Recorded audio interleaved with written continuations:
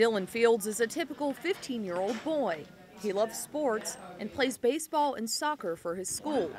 What's not typical about Dylan is the heart defect he was born with. I had Dylan um, January the 29th, 1997, and they told me that he was born with tetralogy of Fallot. He had a hole in his ventricles. He had stenosis in one of the valves. When Dylan was just six weeks old, doctors closed the hole in his heart and repaired a pulmonary valve obstruction.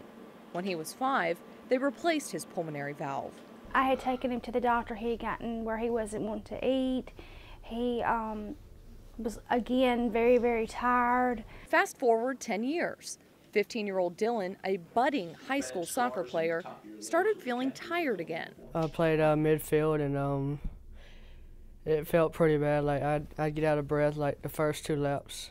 A visit to his cardiologist showed the pulmonary valve doctors replaced 10 years earlier was failing. When the surgeons replaced the pulmonary valve in one of our patients with congenital heart disease, like Dylan, uh, we hope that valve is going to last 15 to 20 years.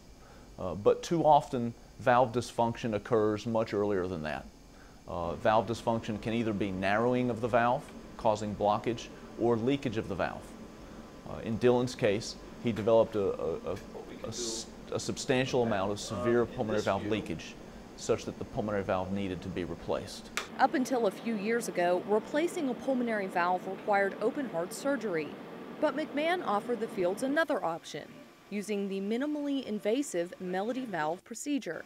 Patients that need multiple operations to replace the pulmonary valve, to some extent, each new operation carries additional risk uh, of, a, of opening the chest each new time cardiopulmonary bypass at each new time. So that to the extent that it's a safer way to restore pulmonary valve function, it's better. We don't know exactly what the long-term data, what the longevity of these valves is going to be.